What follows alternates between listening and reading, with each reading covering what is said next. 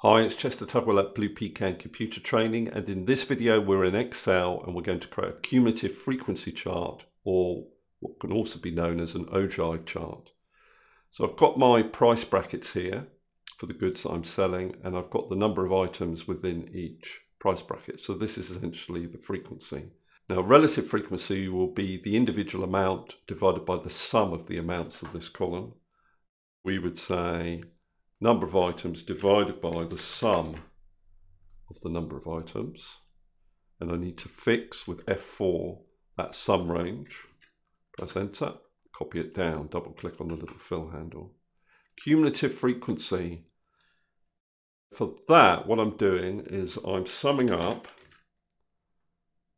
the number of items the first sum will just include this 25. So I've created a range that just looks at one cell, B4 to B4.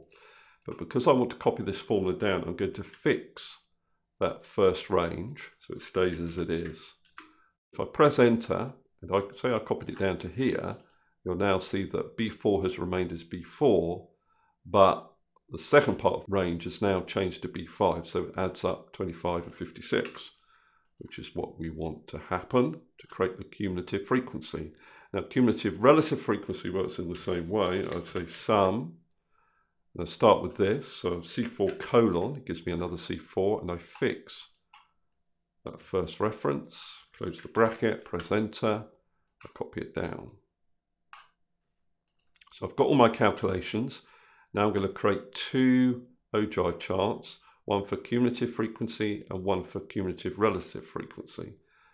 The first one, what I do is I'd select the, the buckets as such, then control, I'd select the data I want to plot against the y-axis, insert on my ribbon, and I'm going for a line graph with line markers, and there we have it.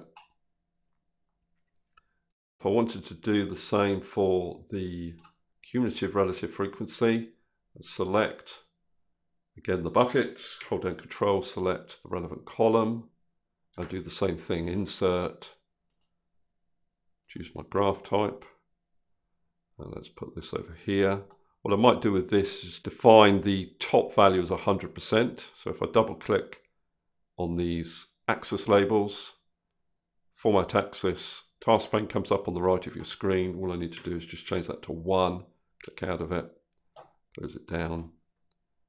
Okay, that's all I want to cover in this course. Thanks very much for listening. Hopefully it's been useful. See you next video.